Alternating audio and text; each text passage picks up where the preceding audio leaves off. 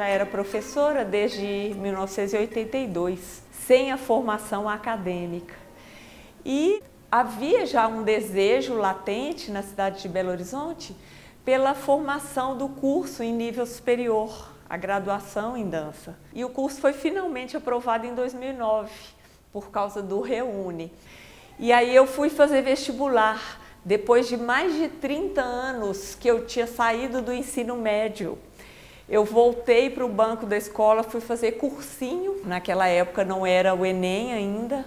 É, meu vestibular foi em 2009 e a primeira entrada foi segundo semestre de 2010.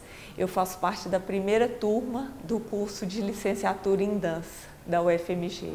É uma emoção muito grande você dentro do MOVE escutar a voz gravada falando assim: Estação Universidade Federal de Minas Gerais. E você vai descer naquela estação sabendo que faz parte daquele grande universo que é o FMG.